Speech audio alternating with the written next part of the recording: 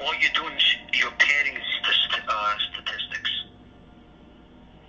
You know, you're putting people on that have COVID 19. If they didn't have it, you're making the death rate for New York City a lot higher than it should be.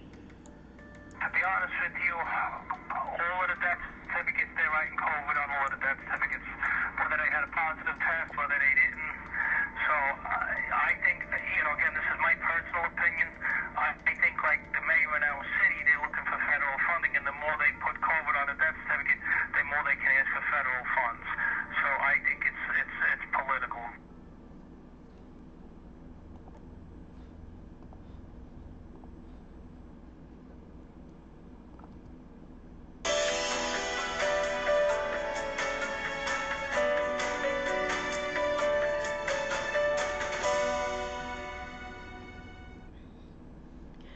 Welcome to Black Spring.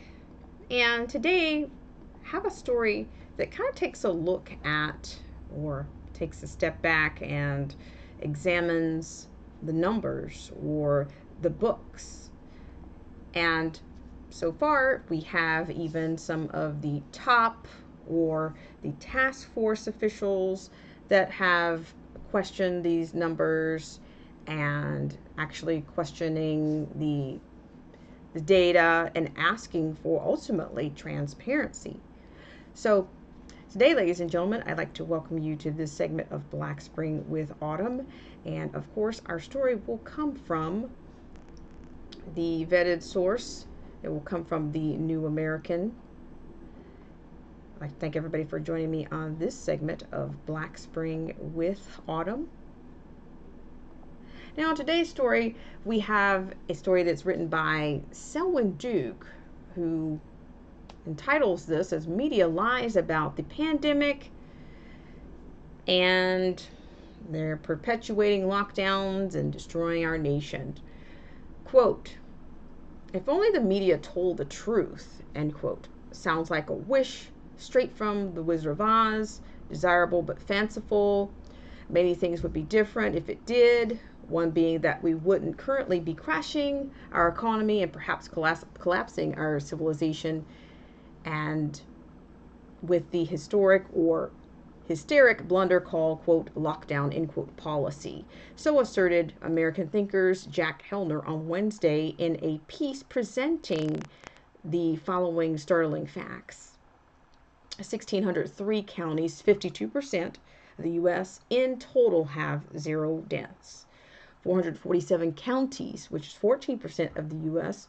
counties, total have one death. 443 counties have 14% of the country, that is, in total have two to five deaths. So, 80% of American counties have five or fewer crowd disease deaths for a total of 2,662 out of a nation's approximately 84,000, an inflated number. Do note that the casualties from this virus or just 3.2% of the total. Yet they're locked down just like the 20% of counties that have the 96.8% of the total. This is about as rational as insisting rural counties have the same number of traffic lights per year or per, per square mile as New York City.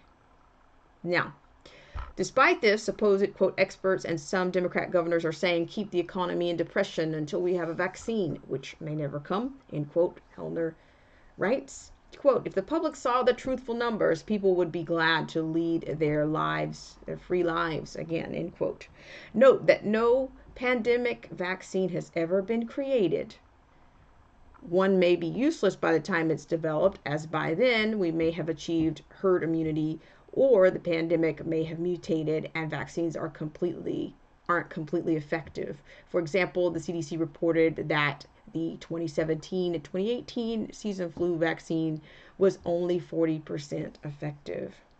Hellner got his statistics from the Heritage Foundation, which relating the infections concentrated Nature also tells us that as of May 4th, just 10 states account for 70% of all U.S. cases and 77% of all deaths. Together, New York and New Jersey alone account for 38% of all cases and 48% of those total pandemic deaths. As the first chart shows, the 30 counties with the most pandemic cases account for 50% of all the cases in the US and 57% of all deaths. That is, just 1% of the counties in the US are responsible for half of the country's pandemic cases and more than half of the deaths. Of those 30 counties, 24 in the Northeast corridor between Philadelphia and Boston, the passageway served by a commuter railway system that runs through Manhattan. Overall, just 11% of the counties in the U.S. contain nearly 95% of all the pandemic deaths. Now, question if there were a disease mainly ravaging rural America, would state governments shut down the cities as part of the response? Hellner also reminds us how Dr. Deborah Birx said that, quote, there is nothing from the CDC that I can trust, end quote. And that the CDC, as Hellner paraphrases it, quote, inflating the pandemic case rate by 25%. So, with that said, I will continue with this segment. Now, Fauci once said the whole country should be locked down, claims they shouldn't. Big surprise, he warned not to be, quote, cavalier in thinking that children are completely immune to the virus's deleterious effects, end quote. Huh? Is any group, quote, completely immune, quote, to any contagious disease? Here are the facts. The flu caused 358 child deaths during the 2009 2010 winter season. Yet only a handful of kids have died from the pandemic virus, which means their mortality rate quote, approaches zero, end quote, as Senator Paul put it. But do we shut down schools over the flu? Did you recommend doing so in 2009 or 2010? Did Dr. Fauci? Why not? Now, some more facts. The Spanish flu pandemic, 1918 1910, killed 675,000 Americans. Adjusted for population, this today equates to a bit more than 2 million dead. The Asian flu, the quote Asian flu end quote pandemic of 1957 killed 116,000 Americans. Today equates to approximately 223,000. The quote Hong Kong flu end quote pandemic of 1968 killed at least 100,000 Americans.